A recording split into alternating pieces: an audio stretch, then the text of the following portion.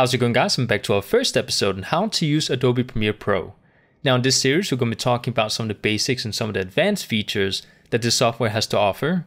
And for this episode we're going to be talking about what exactly Premiere Pro is and what you can use it for compared to other programs out there. Now as you guys may know, Premiere Pro is made for editing videos and making movies, whether it being professional or amateur videos. It is one of the programs that some of the professional people use alongside Final Cut Pro, which is mainly used by Mac people because it's a Mac program.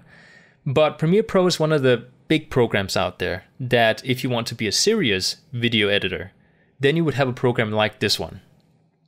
Now, I would like to talk about another program by Adobe called After Effects, which is also a program you can use if you want to edit videos. But the main purpose behind using Premiere is for cutting and editing video clips and touching up on the footage so it looks nice. Where After Effects is mainly used towards special effects. So if you want motion tracking or fire effects or something inside your video clips, then you can put video clips inside After Effects, add the effects, and then you can put the After Effect project or just the clips after you export them into Premiere so you can actually edit and cut the clips and make a movie. So now that we cleared that out, the difference between After Effects and Premiere, we can actually go ahead and get started on what exactly Premiere is. Now, Premiere, like I said, has many different tools for cutting, editing, adding effects to your footage so you can actually increase the quality or change up the mood of the footage. You can also add effects to sound if you want to touch up on the sound a bit. Of course, it's not going to be as good as using a professional sound program, but it gets the job done.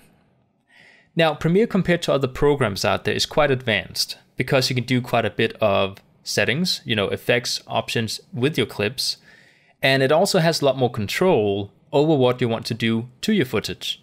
Whereas some of the other programs out there that might be cheaper, like Sony Vegas, can also do a lot of the things that Premiere can do, but it's very limited in the way you can use it.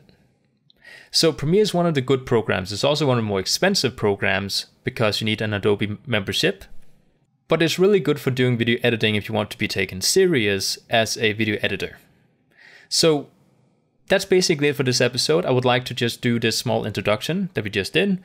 And for the next episode, we'll talk about how to actually set up a new project so we can actually get started doing some kind of editing. Hope you guys enjoyed, and I'll see you guys next time.